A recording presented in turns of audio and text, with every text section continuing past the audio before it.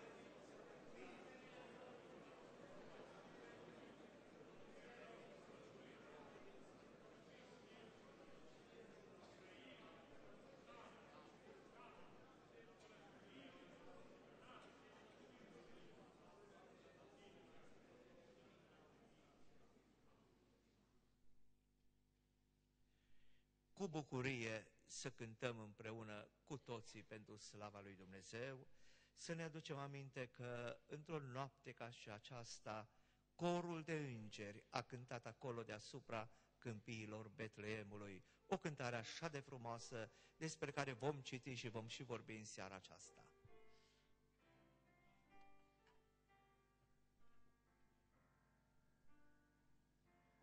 O ce veste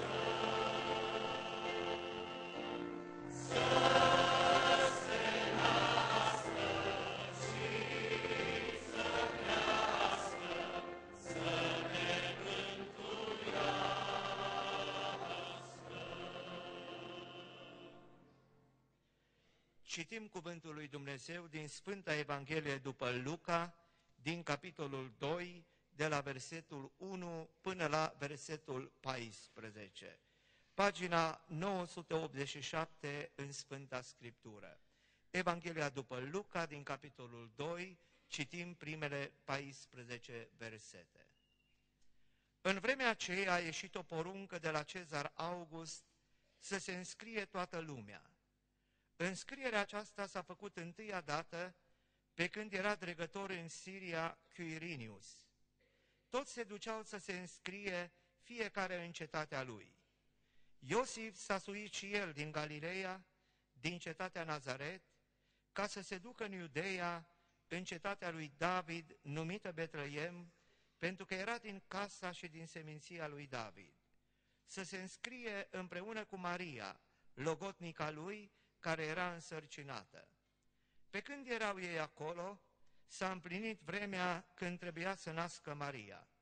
Și a născut pe fiul ei cel întâi născut, l-a înfășat în scutece și l-a culcat într-o iesle, pentru că în casa de poposire nu era loc pentru ei. În ținutul acela erau niște păstori care stăteau afară în câmp și făceau de strajă noaptea împrejurul turmei lor. Și iată că un înger al Domnului s-a înfățișat înaintea lor și slava Domnului a strălucit împrejurul lor. Ei s-au înfricoșat foarte tare.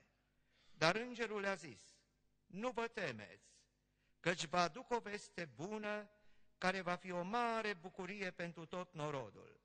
Astăzi, în cetatea lui David, vi s-a născut un mântuitor care este Hristos Domnul.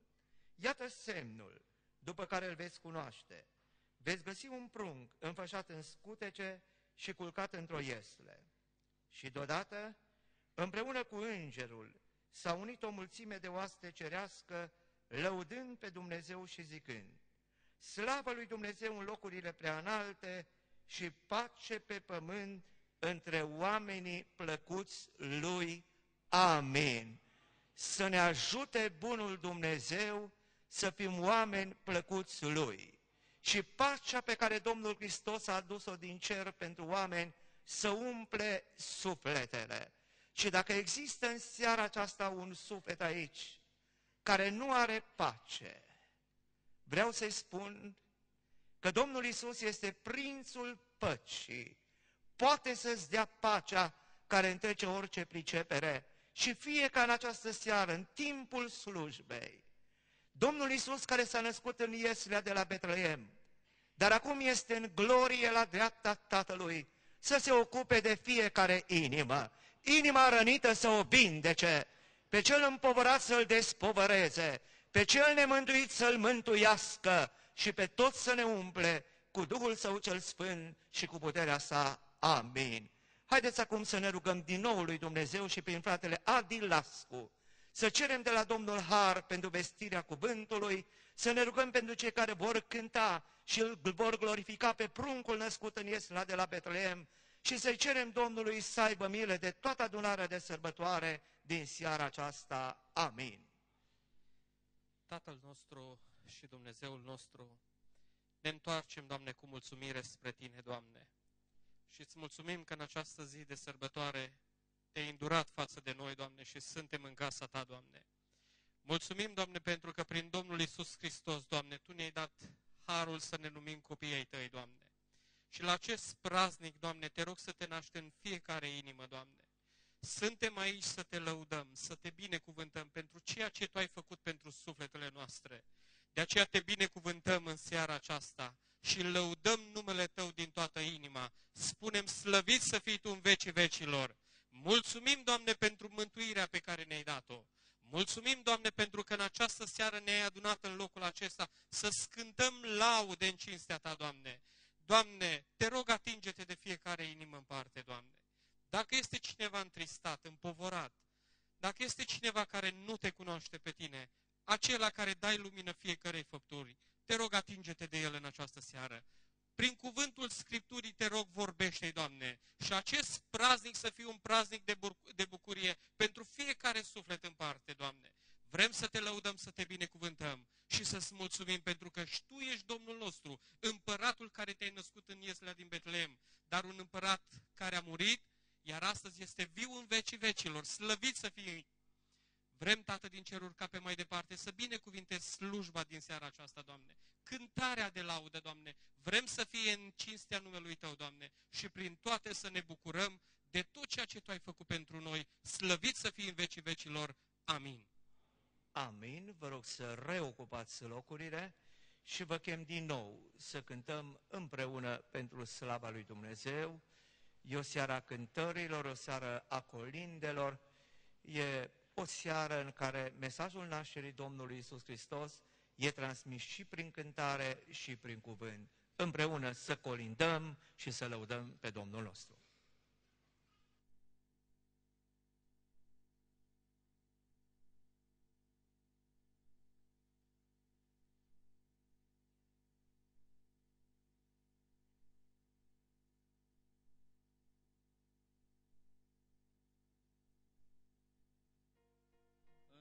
S-a nesemnat din Iudeea, într-o iesle din Betleem, s-a născut așteptatul Mesia.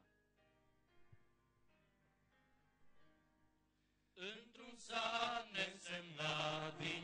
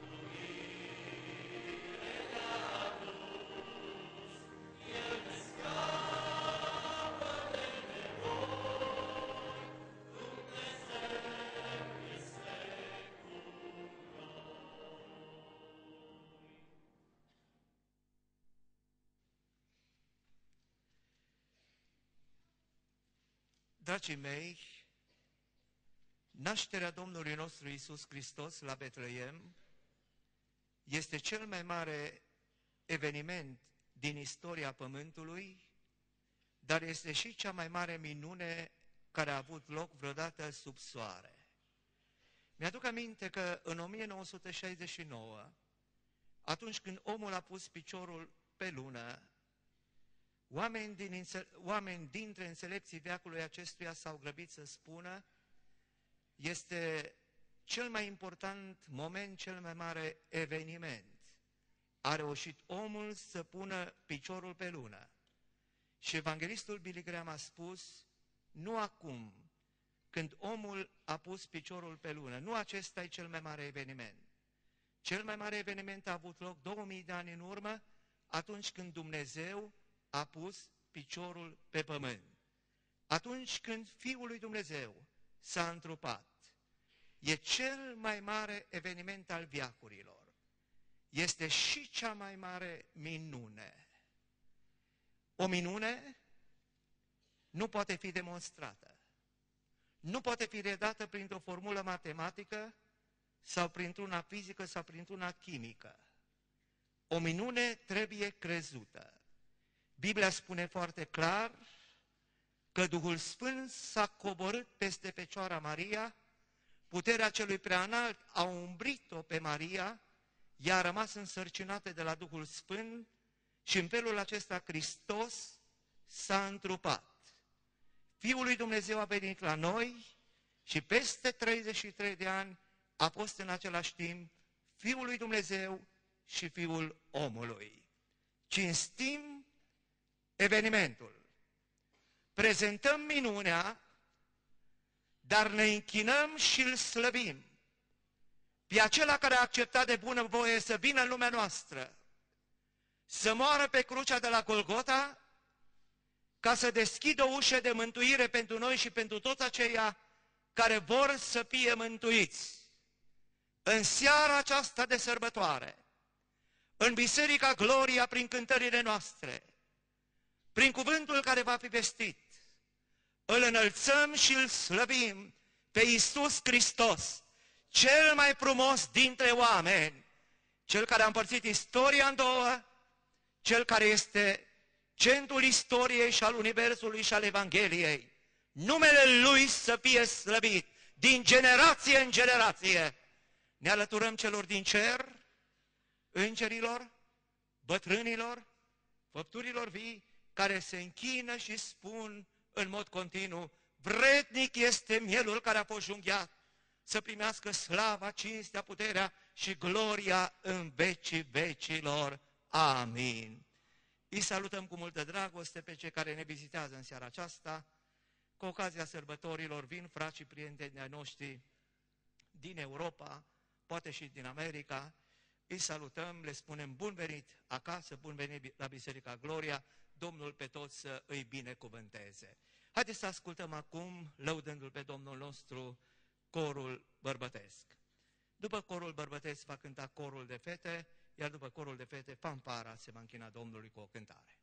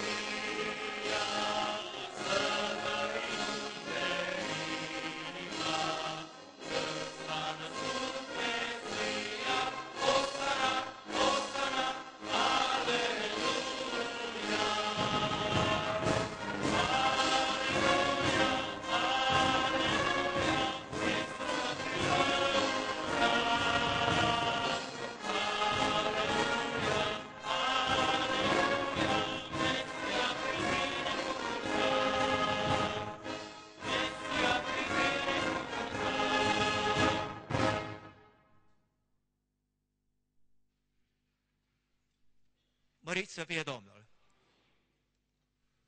Continuăm să lăudăm pe Domnul nostru prin cântarea surorilor Debora și Loredana. După acest duet va cânta din nou corul bărbătesc pentru lauda Domnului.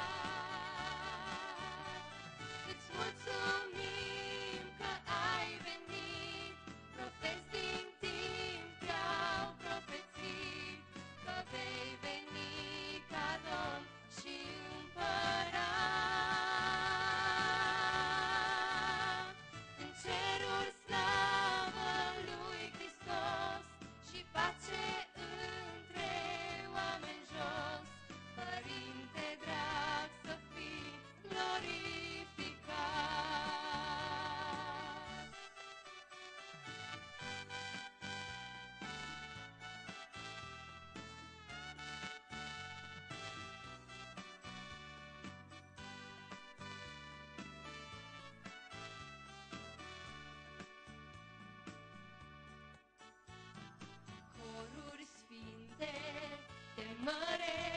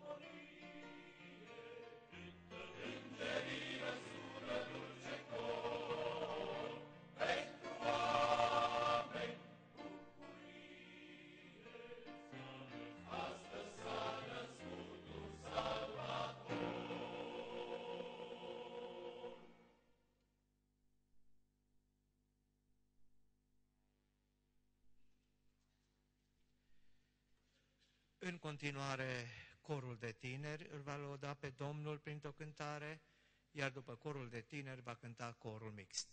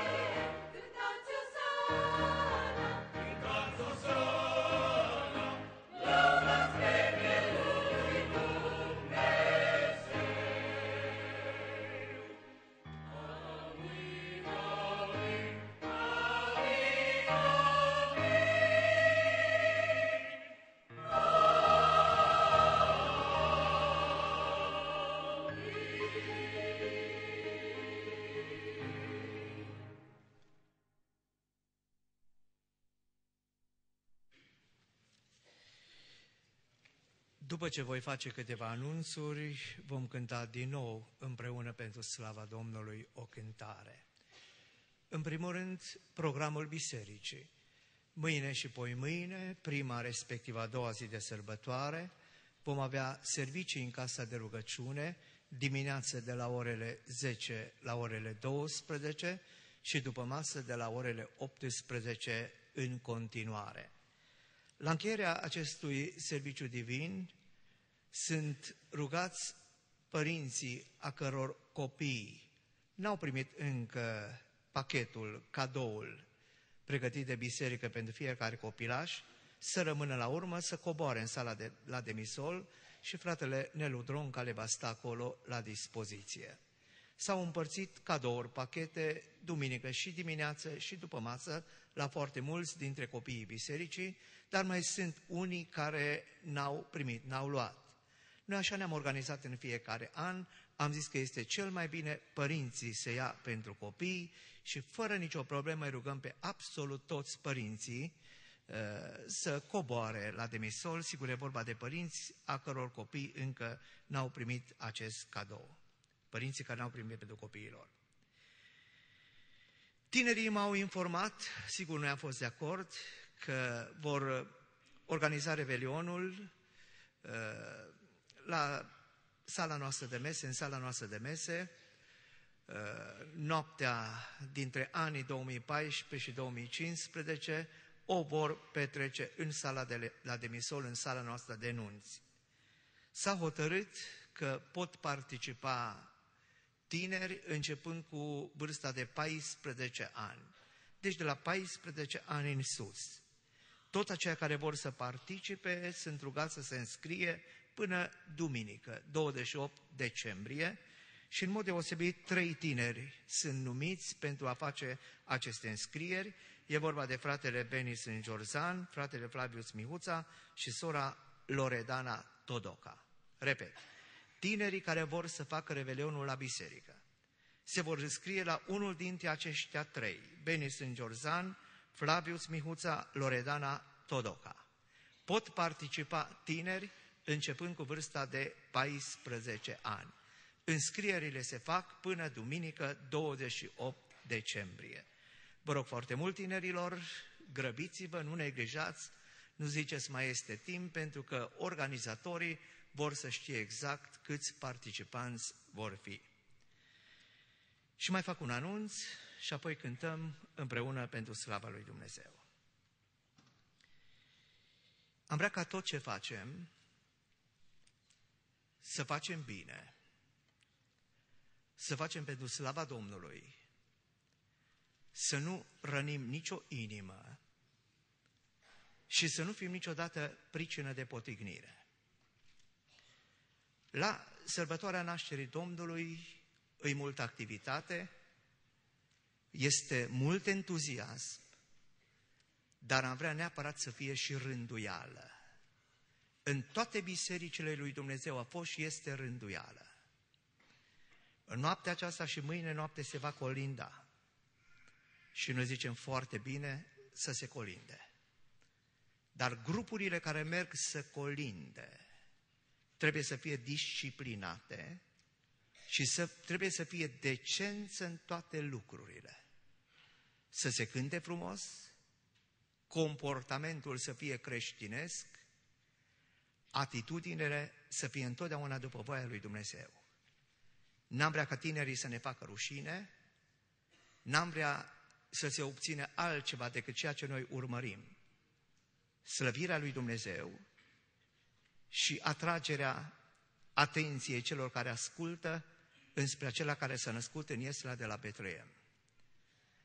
De regulă tinerii pornesc să colinde între 9 și 10, pe la 10, cam așa știu eu că s-a întâmplat de-a lungul anilor. Nu știu cum s-a organizat în seara aceasta. Dar ce vreau să rog? Mă uit câte fetele de la corul de fete. Mă uit câte tinerii de la fanfară. Vreau să nu iasă nimeni din biserică până când am spus benedicția aceea. Deci după rugăciunea comună, rugăciunea de încheiere, zic harul Domnului și așa mai departe.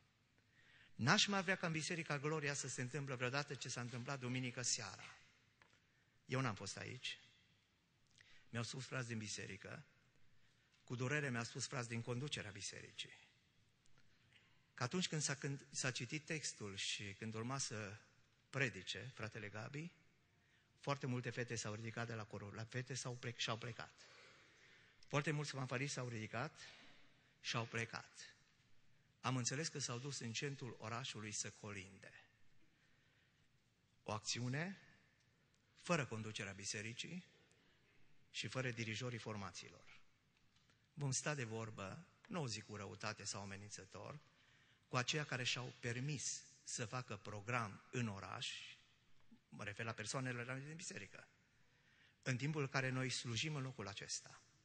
Sunt atâtea zile în săptămână și dacă se voia să se facă, se putea face de la 8 și jumătate, de la 9 seara, dimineața de la do- ă, ziua de la 2, 3, 4 și așa mai departe. Eu mă înțeleg foarte bine cu dirijorii noștri, mulțumesc Domnului. Ei totdeauna când merg undeva îmi spun și e normal să fie colaborare de felul acesta. Primii care s-au plâns au fost dirijorii, să știți. Și apoi frații din conducere. Deci, fetelor, băieților, și valabil și pentru corul bărbătă, și pentru corul mic, și pentru mine, și pentru noi toți, da? Formațiile sunt ale bisericii și ale Domnului. Nimeni nu le poate comanda peste conducerea bisericii și peste dirijori. Noi toți suntem mai Domnului și suntem mai bisericii. Și suntem deschiși și să cântăm în centrul orașului și să mergem în misiune, dar toate să fie cu rânduială. Mi-aș dori ca în timpul mandatului meu de păstor să nu se mai întâmple ce s-a întâmplat duminică seara, da? Înainte de predică, nu o persoană, nu două. Eu n-am fost, dumneavoastră ați văzut aici. Foarte mulți au plecat. Aș vrea să fie rânduială, să ne respectăm unii pe alții, dar în primul rând să respectăm pe Domnul nostru. Respect, o, repet, o spun cu durere, nu o spun cu răutate, ă, nu vreau nici măcar să pedepsim pe cineva, dar aș vrea așa ceva să nu se mai întâmple. Voi cei care sunteți aici, sunteți vitrina bisericii. Sunteți oglinda bisericii. Vă privește toată lumea. S-a putut interpreta că urma să predice, hai să zic că fratele Gabi era aici, da? El era, urma să predice că nu vreți să-l ascultați. Cei din Statele Unite, din Canada, din Europa, care au văzut, că nimeni nu le-a explicat de ce ies masiv atâția din biserică. Și știu că nu, nu asta e. Nu, nu, nu din cauza asta ați plecat. Dar poate că unii s-au gândit și la așa ceva. Vă rog foarte mult. Nici în seara asta, nici mâine seară, stăm toți liniștiți până să încheie slujba și după aceea colindăm cât ne țin puterile și cât este cazul. Nu suntem împotrivă, suntem de acord, dar toate lucrurile trebuie să se facă cu rânduială și vă mulțumesc. Știu precis că ne veți asculta și dorim ca Domnul să vă binecuvânteze. Haideți acum ridicați pe picioare să mai cântăm un colind pentru slava lui Dumnezeu. S-a născut un împărat, domn al păcii minunat, s-a născut mântuitor, domn al tuturor.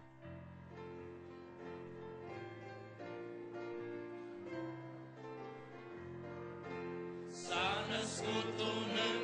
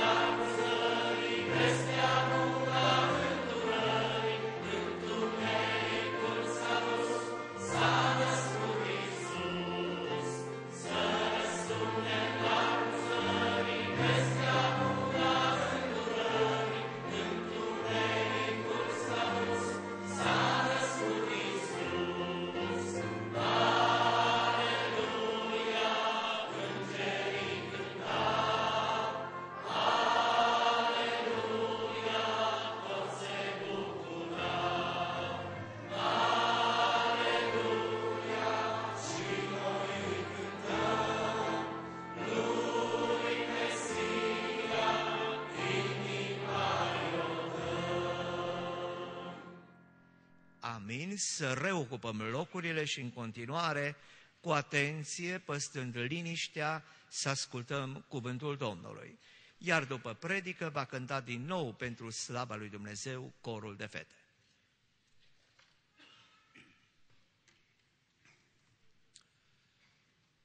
Iubiți frați și surori, după ce am desprins din mulțimea colindelor diferite lucruri legate de nașterea Domnului Isus Hristos, urmează acum să ne plecăm spre cuvântul care a fost citit din Evanghelia după Ioan, pentru a desprinde acele lucruri lăsate aici, așezate în Evanghelie de Luca, ca să înțelegem și să reîmprospătăm în mintea noastră felul cum a avut loc nașterea în lumea noastră a Mântuitorului nostru, a Domnului Isus Hristos. Și din cuvântul care a fost citit, chiar de la începutul citirii, ne uimește felul cum Dumnezeu se folosește de un păgân. De un păgân ca să-și ducă planul la îndeplinire, plan anunțat cu sute de ani de prorocii vechi testamentali, plan care trebuia să se întâmple exact cum Dumnezeu a anunțat.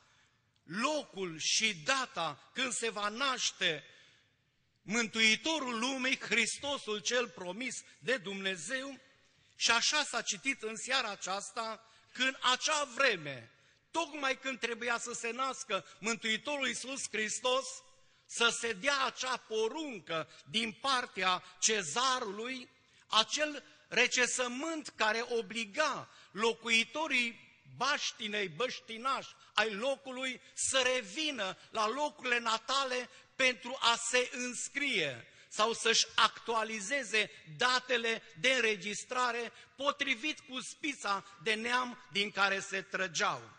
Așa se face că la, în urma acestei porunci și Iosif, cel care locuia la Nazaret, a fost nevoit să meargă în cetatea lui de baștină, la Betleem, deoarece, fiind băștinaș de acolo, moștenind de, de la părinții săi o anumită uh, moștenire, un ogor acolo, trebuia să se uh, prezinte din nou pe a-și prezenta uh, uh, posesiunile sale ca în urma acestui recesământ uh, cezarul prin slujbașii săi să poată colecta taxele și impozitele care și atunci se adunau, se colectau pentru stăpânire. Și întrucât Iosif în acel moment deja era căsătorit oficial cu logodnica sa, cu Maria, chiar dacă noi nu cunoaștem amănunte precise, dacă au locuit împreună sau nu, dar este sigur că ă, s-a oficializat logona lor, erau deja căsătoriți și asta presupunea că la acea ă, înregistrare trebuia să se prezintă și soția lui Maria pentru a fi înregistrată acolo în spița de neam și ca atare să-și îndeplinească obligațiunile de cetățean, de contribuabil, așa cum era organizată taxarea în vremea aceea. Și dacă ați reținut din citirea aceasta, deoarece în general știm cum s-au întâmplat lucrurile, Iosif, Maria au mers uh, în Iudeea, la Betleem și ceea ce ne surprinde pe noi este felul cum acest evanghelist, spre deosebire de ceilalți, prezintă lucrurile, cum s-au întâmplat lucrurile. Chiar este de interes pentru noi să știm așa în profunzime, în detalii, toate aceste lucruri, chiar amănunte fiind, pentru că este vorba de Domnul, de Mântuitorul nostru și despre El trebuie să știm cât mai mult și cât mai bine, cât mai exact, mai precis, așa cum este consemnat în Sfintele Scrieri, în Evanghelii. Și aici, în pasajul acesta, ne se spune că acolo, odată ajunși, a venit vremea ca Maria să nască și a născut. Uh, pe întâiul ei născut, l-a înfășat în scutece și l-a așezat într-o iesle. Continuând evanghelistul cu subinerea, căci în casa de poposire nu se găsise loc pentru ei.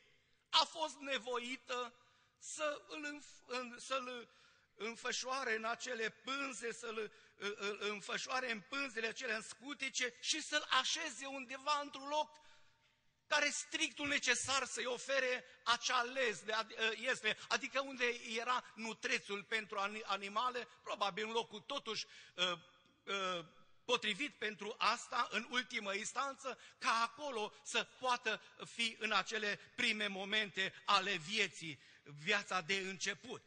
Dar ceea ce ne uimește în continuare și încercăm să parcurgem această Evanghelie a nașterii Domnului este faptul cum Dumnezeu a îngăduit să se petreacă lucrurile. Și personal mă uimește faptul că Dumnezeu se îndreaptă spre o altă categorie de oameni. Dacă am scos în evidență felul cum Dumnezeu s-a folosit de cezarul de la Roma, de data asta Dumnezeu se îndreaptă spre o categorie neînsemnată de oameni, spre niște păstori, ca ei să fie cei din tâi care să ducă mai departe mesajul nașterii Mântuitorului lumii. Și așa continuă mai departe scrierea lui Luca, că acolo, în apropiere de Betleem, câmpiile Betleemului, în ținutul acela, erau niște păstori. Și lor Dumnezeu a vrut să le să le descopere, să le facă de cunoscut, ca ei cei din tâi să primească vestea nașterii Mântuitorului. Și mi-am pus eu întrebarea și vă provoc și pe dumneavoastră să, îngând, să gândiți, oare ce a făcut ca acești oameni să aibă parte de un asemenea har, ca lor Dumnezeu să le trimită un înger din cer, să le ducă vestea asta extraordinară, că pentru ei și pentru întreg poporul s-a născut un mântuitor. Ce a făcut ca ei să fie cei din tâi? Și foarte ușor de înțeles, chiar din continuarea descrierii, unde se spune că în acel miez de noapte doar ei mai erau dintre cei ce vegheau sau străjuiau în jurul turmelor lor, păzeau turmele lor. Și când spun aceste lucruri, imediat vreau să și continui a avea o învățătură de aici. Pentru că noi vorbim despre Cel ce s-a născut în urmă cu 2000 de ani. Dar tot așa vorbim și despre Mântuitorul nostru care vine din nou în lumea noastră. Și dacă ar fi să luăm de aici o învățătură, pot să spun, asemenea acestor păstori, felul cum Dumnezeu s-a orientat înspre el, că și atunci când Domnul va veni a doua oară în lumea noastră, tot astfel de oameni vor avea harul ca să îl vadă și să-l întâmpine pe Mântuitorul nostru și Mântuitorul lumii, pe Hristos Domnul. Cei care veghează și cei care păzesc. Păstorii de acolo păzeau oile și vegheau, spune acolo, străjuiau în jurul oilor cei care veghează și cei care păzesc cuvântul Domnului vor avea parte să-L vadă, să vadă pe Domnul. Și eu zic, Doamne, ajută-ne la asta. Și desigur, mesajul Evangheliei merge spre momentul acela care creează bucuria. Bucurie care penetrează până în vremurile noastre și pătrunde în sufletul nostru, prin colin, prin cântare, prin cuvânt, prin însăși atmosfera ce se creează aici, în adunarea Domnului, pătrunde înspre noi, atinge inimile noastre bucuria nașterii Mântuitorului. Cum s-a manifestat asta și cum au trăit-o acești oameni neînsemnați, păstorii de atunci, după ce, așa ați reținut din citire, primul cuvânt a fost, nu vă temeți, nu vă spăimântați, Aici nu se petrec lucruri îngrozitoare. Aici nu aveți de ce să vă tulburați, să vă temeți. Ce se petrece aici face bine sufletului, face bine trupului, umple ființa de bucurie. Și mesajul din partea îngerului a fost, bucurați-vă, bucurați-vă că astăzi vi s-a născut un mântuitor care este Hristos Domnul. Și bucuria a început să să umple inimile lor. Mai ales când acest mesaj merge mai departe și oarecum devine uh, personalizat, se îndreaptă pentru ei și în folos lor și le spune, uite, pentru voi, Dumnezeu dă un semn. copilul acesta care s-a născut, când veți merge să-l căutați și să-l întâlniți, îl veți găsi înfășat în scutece și culcat într-o ziesle. Le dă și un semn cum să ajungă și să îl poată vedea. Uh, noi urmărim din aceasta și înțelegem că Dumnezeu atunci când începe să lucreze cu noi oamenii și lucrează cu noi în biserică, Dumnezeu uh, clarifică uh, lucrurile pe înțelesul nostru al tuturor. Dacă magilor Dumnezeu le-a dat o stea, o stea mișcătoare pe cer, care să-i călăuzească înspre locul și cetatea unde s-a născut Mântuitorul, acestor oameni, acestor oameni, zicem noi, de jos, mai neînsemnați, Dumnezeu le vorbește pe înțelesul lor, cuvinte pe care să le înțeleagă și să le priceapă și care fac parte din viața lor. De aceea le-a dat semnul acesta când le-a zis, îl veți găsi înfășat în scutece și culcat într-o iesle. Păi lucrurile s-au clarificat foarte bine. Unde puteai să găsești dacă mergi în Betleem, că le-a spus, s-a născut în cetatea lui David, într-un loc unde este o iesle. Și lucrurile au devenit foarte clare. Pentru că atunci când Dumnezeu coboară la noi oamenii și când Dumnezeu vrea să pătrundă noi cu mesajul său, El ne dă și o claritatea înțelegerii lucrurilor. Și chiar ne prezintă clar lucrurile, asemenea păstorilor când le-a spus, veți intra în cetatea lui David, în Betleem, erau mai multe cetăți în zona aceea, probabil cea mai apropiată Betleemul, dar cu mențiunea clară, și îl veți găsi într-o iesle.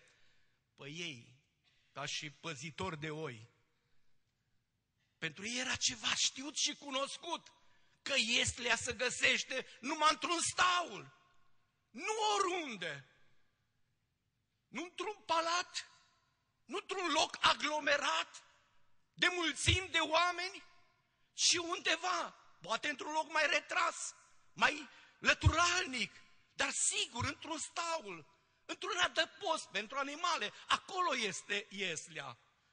Și pornind de la aceste lucruri, poate ar fi bine chiar să am o provocare, o întrebare. Unde îl căutăm pe Isus? Unde îl putem găsi pe Isus? Pentru păstor a fost foarte clar. Ei știau unde se găsește o iesle. Știau, într-un staul îi găsești o iesle. Și când au pornit ca să găsească pruncul de curând născut, au fost, a fost foarte clar pentru ei lucrurile. Mergem înspre un staul, chiar dacă ar fi fost ele două, trei în zona aceea, dar era ușor de găsit. Și atunci trebuie să revin din nou. Unde îl căutăm pe Isus? Că nu l-ar fi putut găsi în altă parte? într-un alt loc, nici chiar fiind anumite case de poposire, așa cum aveau această destinație, care erau deja acum pline și mulțimea de oameni uh, au umplut toate acele case, dar lucrurile au fost foarte clare. În Betleem sau în cetatea lui David și în Iesle. Uh, îmi place să gândesc în aceste momente că biserica noastră care poartă un frumos nume, numele Gloria, aș putea o să numesc în seara asta Betleemul Domnului. Betleem înseamnă casa pâinii, casa unde găsești hrană, casa care, unde găsești adăpost. Și în acest Betleem, într-un anumit loc al lui, există acolo ceva pentru viețuitoare. Un loc de adăpost, dar și de hrănire, o iesle. Și ne dorim ca Dumnezeu întotdeauna să vină în întâmpinarea nevoilor noastre spirituale cu această casă și cu acest loc. Acolo unde a coborât și Fiul lui Dumnezeu, Mântuitorul și unde s-a născut. Odată ajunși acolo, păstorii s-au bucurat, sigur, așa, dacă, dacă am încercat să înțelegem lucrurile acestea, să ai o experiență nemai întâlnită, nepovestită de nimeni, ceva unic în viața ta. Sigur, e și plin de bucurie și de curiozitate și parcă nu mai lucrează mintea ca să poată spune cuvintele ce le ai pe inimă, pentru că uimirea este mare. Mă gândesc că, într-o oarecare măsură, așa s-au întâmplat lucrurile. Odată ajunși în acea încăpere, înspre acel loc numit Ieslea, unde era așezat pruncul Iisus, au făcut un lucru extraordinar. Dincolo de curiozitatea lor, chiar și de bucuria aceea, ce o aveau în inimă, mai ales că încă în minte era ecoul acelui im de slavă, a corului îngeresc, încă era în mintea lor. Și, și plin de bucurie s-au dus acolo. Dar odată ajunși, mă gândesc eu, privind spre Iosif, privind spre Maria, privind spre pruncul de acum din Iesle, posibil și alte persoane acolo, așa se înțelege din context, și alte persoane, probabil din vecinătate, din apropiere, oamenii ăștia au înțeles un lucru.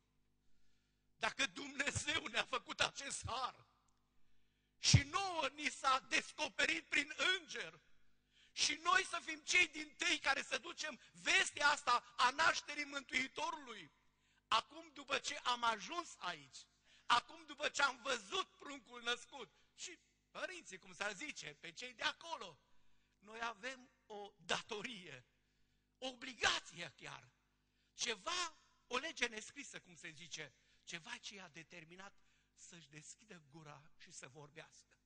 Și au început să vorbească. Și să le spună povestea asta, întâmplarea aceea din timp de noapte, cum pentru ei cerul s-a înserenat și s-a, dintr-o dată s-a luminat, cum a auzit vocea aceea de înger, cum Dumnezeu i-a vorbit, așa cum zicem cu subiect și predicat, bazat pe profețiile vechi testamentale despre Mântuitor, despre cetate, despre felul cum îl, îl vor găsi acolo și când, cum toate lucrurile se potrivesc în tocmai, că așa era pruncul Iisus, înfășat în scutece și culcat în esle. Și a scos în evidență minunea asta lui Dumnezeu. Cum Dumnezeu pe ei, mai puțin înțelepții, cum zicem noi că sunt oamenii de jos, i-a ajutat și i-a condus și le-a dat harul acesta să fie cei care să vadă cei din tâi pruncul născut, promis de Dumnezeu, profețit de, de, de prorocii vechi testamentali. Și au spus acestea, așa cum zicem noi, cuvânt cu cuvânt. Și vreau să vă spun în final că a fost foarte important lucrul acesta. Pentru că aceasta este lucrarea întregită la care ne cheamă Dumnezeu și pe noi nu numai să venim la Betleem, nu numai să ajungem până la Iesle, ci să și deplinim o misiune. Ei au înțeles că au o misiune de acum. Că nu întâmplător Dumnezeu li s-a descoperit și le-a dat mesajul acesta, ci că ei trebuie să de fie de folos celorlalți, celor din casă, celor pe care îi, va, îi vor întâmpina în zilele următoare și să le vorbească. Așa în detalii, cum zicem noi, și să scoată în evidență că toate lucrurile au fost dovedite, că Dumnezeu a dat un semn care va face dovada că mesajul primit este autentic și că este din partea lui Dumnezeu. Și a fost foarte important pentru cei care probabil mai erau prin zonă sau prin casă. Că mulți au putut gândi doar s-a mai născut un copil vieții oameni nu au găsit loc în casa de poposire și unde au ajuns. Alte și alte vorbe și povești, devenite mituri sau tradiții.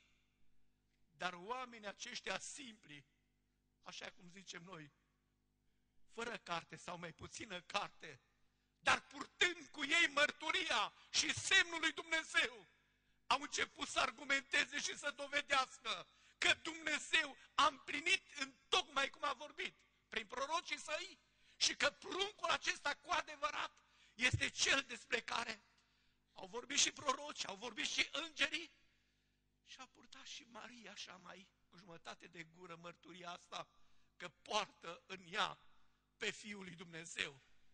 Mărturia lor, însoțită de semnul folosit, a întărit asta. Și acum trebuie să spun în final că lucrarea sau mărturia lor a fost foarte importantă pentru Maria. Nu întâmplător, la finalul acestui pasaj, scrie aici, dați voie care să mă să citesc versetul 19 în care se spune Maria păstra toate cuvintele acestea și se gândea la ele în inima ei. Atunci, și după ce au plecat ei de acolo, cuvintele acestea au rămas în mintea, în inima Mariei și ea în permanență se gândea la ce a auzit, ce au vorbit păstorii ăștia, ce semn le-a dat Dumnezeu, ce oaste cerească a cântat. Toate acestea erau în mintea ei și erau ca un leac, ca o alinare. După tot tumultul necazilor prin care a trecut, bajocora, disprețul, chiar ea neînțelegând toate lucrurile. Așa reiese când citim istoria ei și a felului cum a primit vestea nașterii Mântuitorului. N-a înțeles toate lucrurile, dar de data asta a primit încă o mărturie pe lângă cea de la înger auzită, pe lângă glasul prorocilor a oamenilor acestea, că cel pe care ea l-a născut este Mântuitorul promis de Dumnezeu, este Domnul Hristosului Dumnezeu. Și eu cred că ea s-a întărit cu aceste cuvinte. Este și scopul sărbătorilor care ne adună împreună ca să ne întărim în credință, să ne întărim în cunoașterea Domnului, să ne întărim în nădejdea că El este Mântuitorul nostru și va fi și atunci când va reveni din nou în lumea noastră. Dar până atunci, din seara asta și mâine și poimâne, vă îndemn și vă recomand să preluăm exemplul Mariei, să strângem cuvântul în inima noastră, să-l păstrăm acolo și să ne gândim la el. Căci nici nu știm cum Dumnezeu rânduiește, fie printr-o cântare, fie printr-un cuvânt predicat, acel cuvânt care să fie leacul, care să aline anumite părți dureroase a ființei noastre spirituale sau sufletești, sau să fie acea încărcătură de putere care să ne facă să răzbim, să trecem prin eventualele situații ce le vom întâmpina. Și Domnul să ne ajute. Și astfel, cuvântul Domnului și chiar însăși prezența, prezența Domnului să o purtăm în inimile noastre. Amin.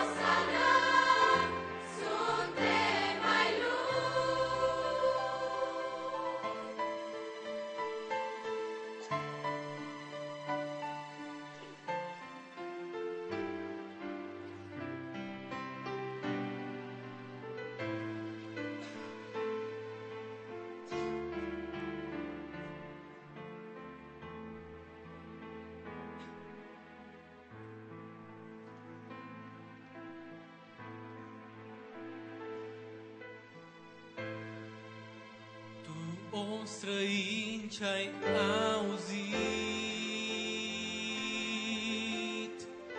De acest Iisus ce s-a născut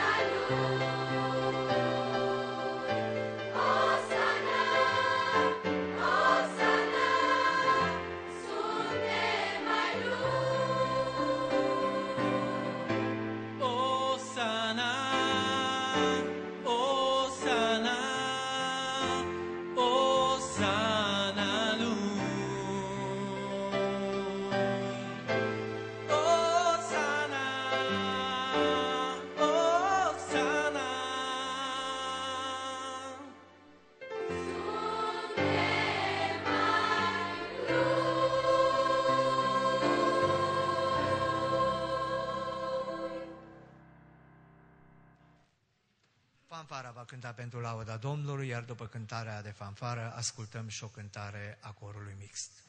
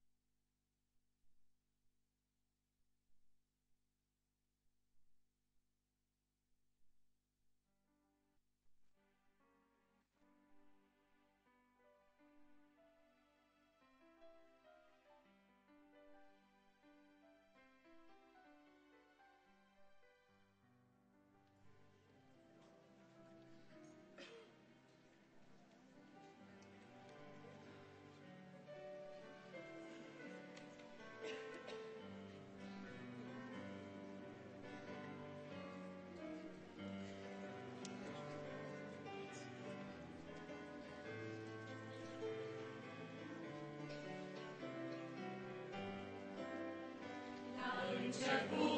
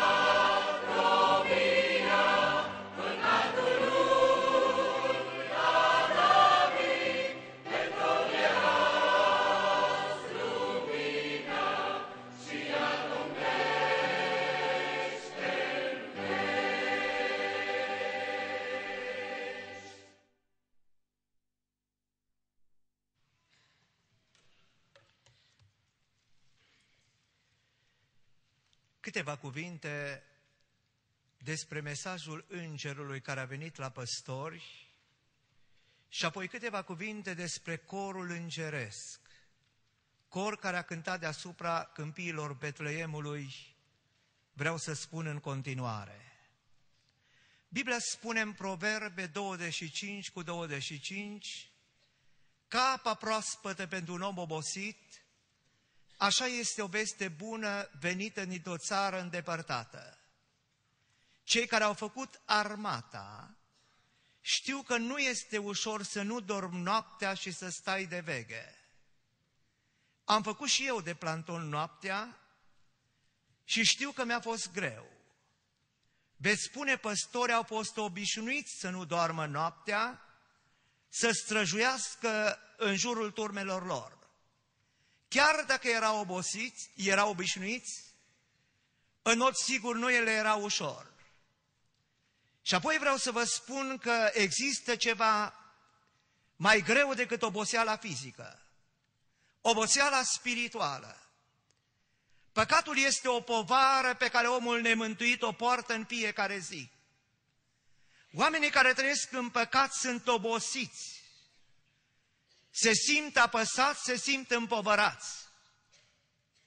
Are dreptate Biblia când spune că apa proaspătă pentru omul obosit, așa este vestea bună venită dintr-o țară îndepărtată.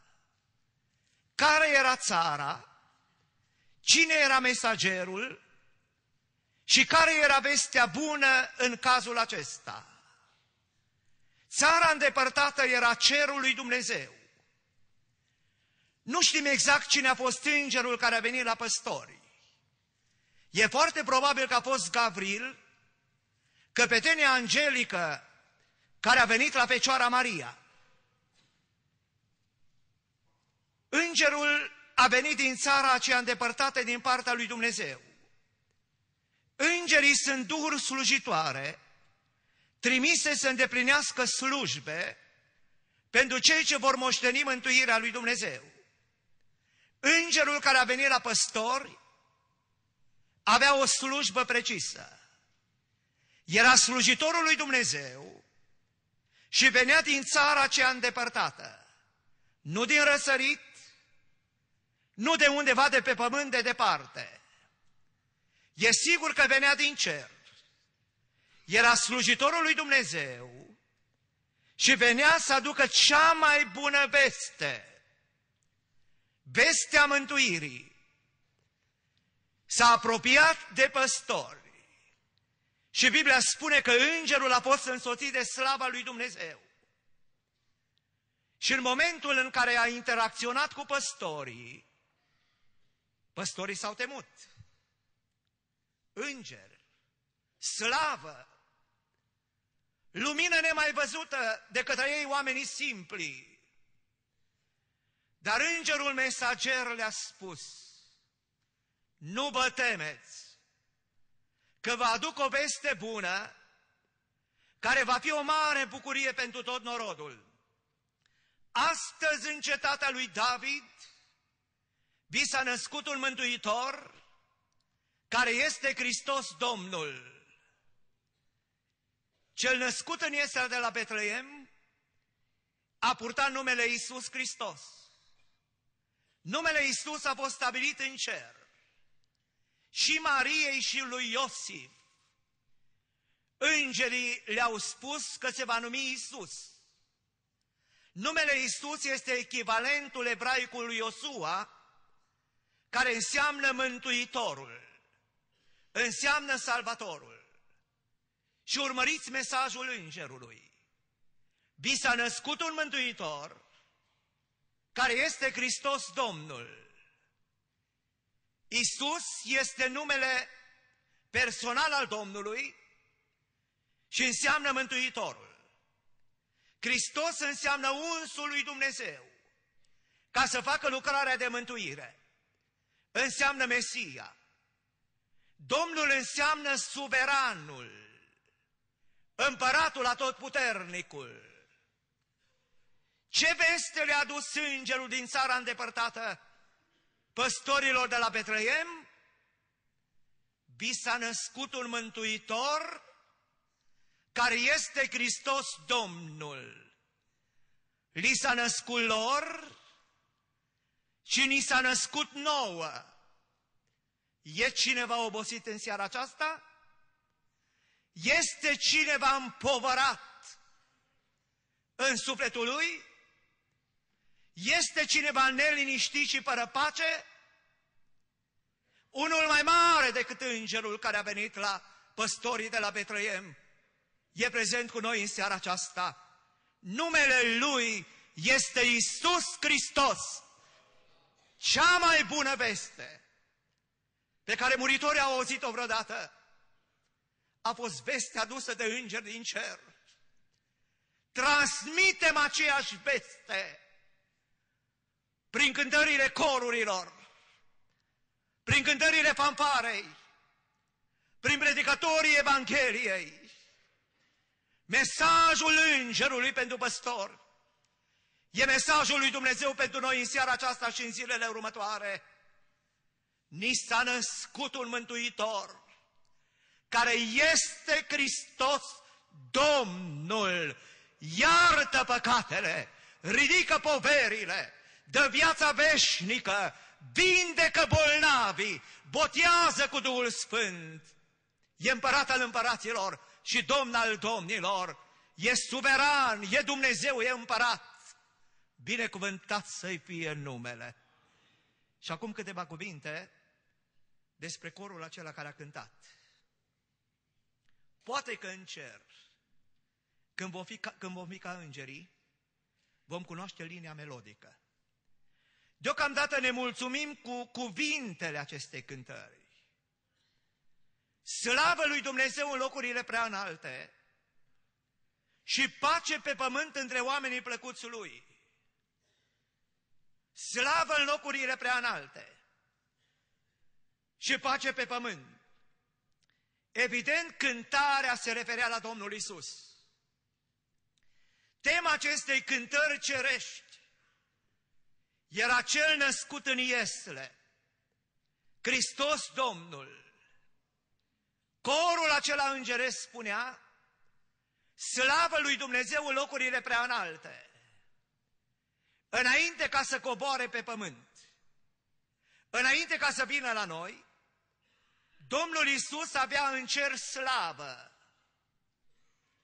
Pavel spune în Filipeni, capitolul 2, măcar că avea chipul lui Dumnezeu, totuși n-a considerat ca un lucru de apucat să fie deopotrivă cu Dumnezeu. S-a dezbrăcat pe sine însuși, a luat chip de rob, făcându-se asemenea oamenilor. De ce s-a dezbrăcat Domnul Isus în cer, înainte ca să vină la noi pe pământ, să se nască la Betleem? S-a dezbrăcat de slava pe care o avea din veșnicie. El avea slavă ca Dumnezeu Tatăl. Și îngerii au cântat slavă lui Dumnezeu în locurile prea înalte. Dar când a acceptat să se întrupeze, când a acceptat să se nască în condițiile cele mai umile, a fost de, de acord să se dezbrace de slava aceasta și să renunțe de bunăvoie la câteva dintre atributele sale, cum, cum ar fi omniprezența. Astăzi Domnul este prezent peste tot în același timp. Acceptând să vină în lumea noastră, să locuiască într-un trup ca și al nostru, a renunțat la omniprezență și era prezent într-un moment, într-un singur loc. Dar a acceptat aceasta ca să ne mântuiască. Slavă lui Dumnezeu în locurile prea înalte și pace pe pământ între oamenii plăcuți lui. Nu cred că astăzi, într-o lume bulversată, poate fi transmis un mesaj mai bun, mai consistent ca și acesta. Într-o vreme în care se vorbește de un nou război rece. Unii vorbesc de al treilea război mondial. în bisericile creștine, din partea celui care a făcut cerurile și pământul și s-a făcut urzitorul unei mântuiri veșnice, noi transmitem mesajul mântuirii și mesajul păcii. Slavă lui Dumnezeu în locurile prea înalte. Hristos a avut slavă din veșnicie și are până în veșnicie. Pace pe pământ între oamenii plăcuți lui. Am încredințarea că numai copiii Domnului, cei mântuiți urmașii Domnului Isus, au în sufletele lor pacea care întrece orice pricepere. Și Biblia spune că cel născut în Israel de la Petleem este Domn al păcii. Isaia 9 cu 6. Căci un copil ni s-a născut, un fiu ni s-a dat și domnia va fi pe umerii lui. Îl vor numi minunat, sfetnic, Dumnezeu tare, Părinte al veșnicilor și Domn al păcii. Isus este Mântuitorul. Isus este Domnul. Isus este Domn al păcii. Este cineva nemântuit în seara aceasta? Dacă este, îl chem la Domnul care îl poate mântui. Vrea să-l mântuiască. Domnului îi place să-i mântuiască pe oameni. De aceea a lăsat cerul. De aceea a venit din țara aceea îndepărtată, până în pulberea pământului, până în locurile cele mai de jos ale pământului. A venit ca să ne mântuiască și să ne dea viața veșnică. Nu vă temeți! Vă aduc o veste bună care va fi o mare bucurie pentru tot norodul. Te poți tu bucura cu adevărat la acest prasnic creștin? Îți este inima plină de bucurie? Cei care cred și l-au pe Domnul Isus în inimă ar trebui să se bucure, să se poată bucura. Vestea venită din țara îndepărtată ne umple sufletele de bucurie. Suntem mântuiți, suntem copiii lui Dumnezeu. Am primit un duc de înfiere care ne face să zicem, Aba, adică Tată, pentru că Isus s-a născut. Noi am crezut în El și am devenit copii al lui Dumnezeu.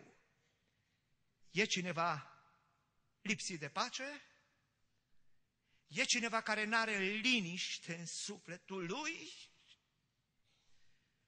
Hristosul care s-a născut în Ieslea de la Betleem, în casa de povosire n-a fost loc pentru el.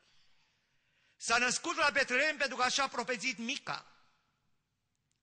S-a născut în condițiile acelea grele pentru că așa a fost profețit.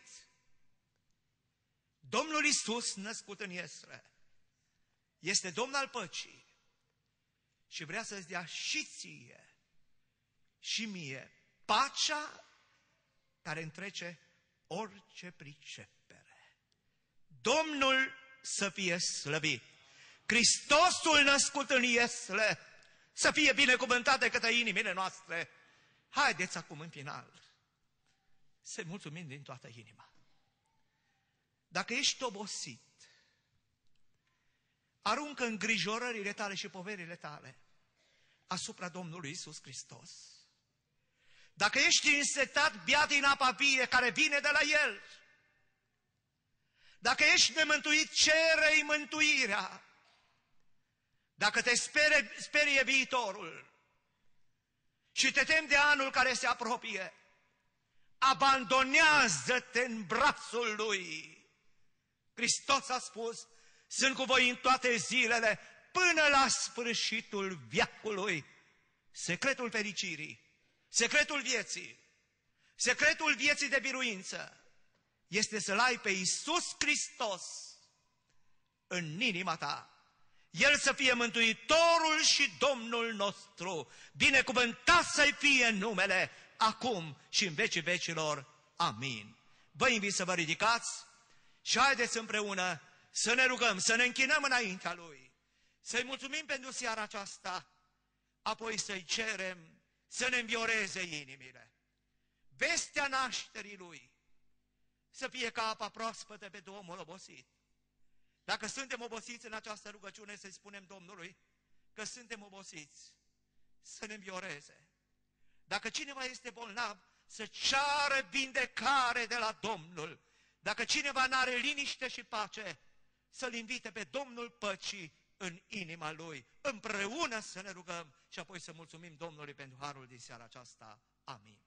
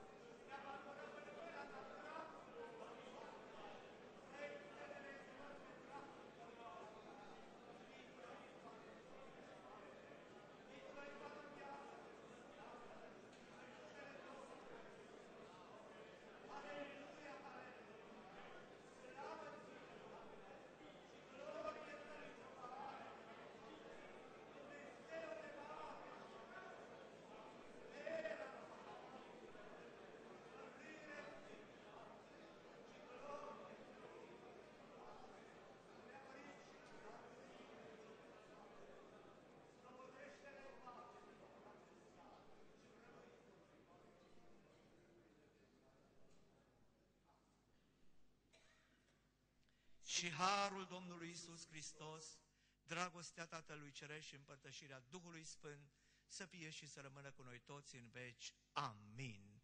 Vă rog să ocupați locurile. Cu ajutorul Domnului am încheiat serviciul divin din seara aceasta. Dacă Domnul ne ține în viață, ne întâlnim mâine dimineață la 10 și apoi mâine după masă la orele 18. Vă dorim o seară frumoasă, o noapte binecuvântată, Probabil că dormi, dormi mai puțin în noaptea aceasta și să nu ne pară rău uh, dacă vom dormi mai puțin și păstorii au dormit mai puțin sau n-au dormit deloc. E noaptea în care se transmite uh, vestea cea bună, mesajul nașterii Domnului nostru Isus Hristos. În timpul unei cântări de fanfară, cu pacea Domnului ne despărțim.